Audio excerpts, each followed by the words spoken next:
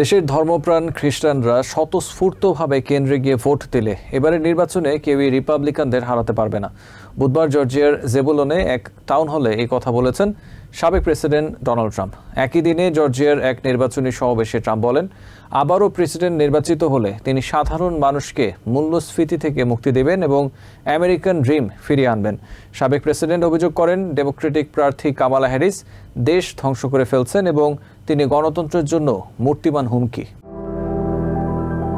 সাবেক president Donald Trump গল্প বলতে ভালোবাসেন। মাঝে মাঝে তিনি এমন সব গল্প বলেন, তার বক্তব্যের সময় গণমাধ্যমকে শোভনভাবে জানিয়ে দিতে হয়। এসব বক্তব্যের কোনো প্রমাণ বা ভিত্তি তারা খুঁজে পাননি। যেমনটা হয়েছে বুধবার জর্জিয়ার নির্বাচনী সমাবেশে। তিনি সেখানে স্বচক্ষে সরাসরি রকেট অবতরণের দৃশ্য দেখার অভিজ্ঞতা বর্ণনা করেছেন, যা তাকে ছবি দেখার মতো শিহরিত করেছিল বলেও জানিয়েছেন সমবেত দর্শকদের।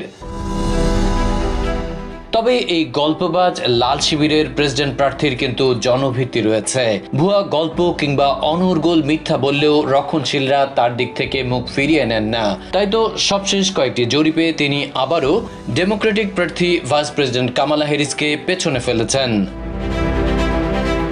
প্রচারণার শেষ সময়টায় তিনি অর্থনীতিকে পুঁজি করে বক্তব্য দিচ্ছেন।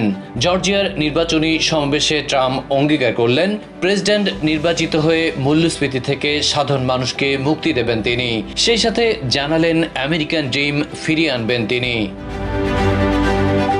ডেমোক্রেটিক প্রার্থী কামালা হ্যারিস দেশ ধ্বংস করে ফেলছেন দাবি করে সাবেক প্রেসিডেন্ট জানান, গণতন্ত্রের জন্য মূর্তিমান হুমকি ভাইস প্রেসিডেন্ট। আসছে পাঁচই নভেম্বরের নির্বাচনে ক্ষমতায় যেতে পারলে সবাইকে সাথে নিয়ে দেশকে আবারও সঠিক পথে ফিরিয়ে আনার প্রতিশ্রুতিও দেন ট্রাম্প। অন্যদিকে একই দিন লিউটেন্যান্ট গভর্নর বার্ট জোনসের সঞ্চালনায় জর্জিয়ার জেবুলনে বিলিভার্স অ্যান্ড ব্যালটস ফেইথের এক টাউন হলে অংশ নেন ট্রাম্প। যেখানে এক তরুণ জানান এইজোনা ক্রিশ্চিয়ান ইউনিভার্সিটির জরিপ বলছে, আসছে নির্বাচনে বত্রিশ মিলিয়ন খ্রিস্টান ধর্মাবলম্বী, ভোট দেবেন না। তাদের বিষয়ে কিছু কি বলার আছে সাবেক প্রেসিডেন্টের?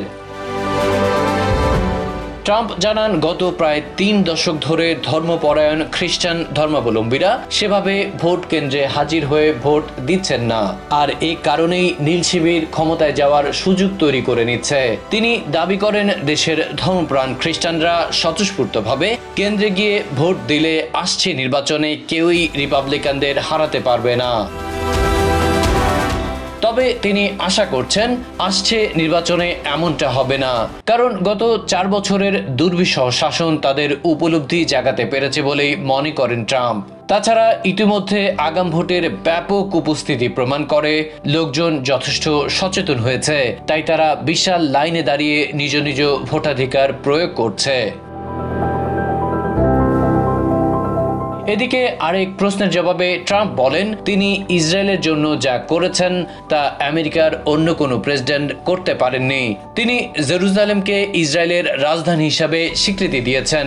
ভবিষ্যতেও তেল আভিভে সহায়তা অব্যাহত রাখার প্রতিশ্রুতি দেন ডোনাল্ড ট্রাম্প।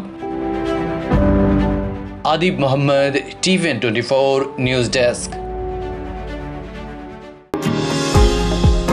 New York থেকে সম্প্রচারিত টিভিএন টোয়েন্টি ফোর টেলিভিশন বিশ্বজুড়ে বাঙালির কণ্ঠস্বর।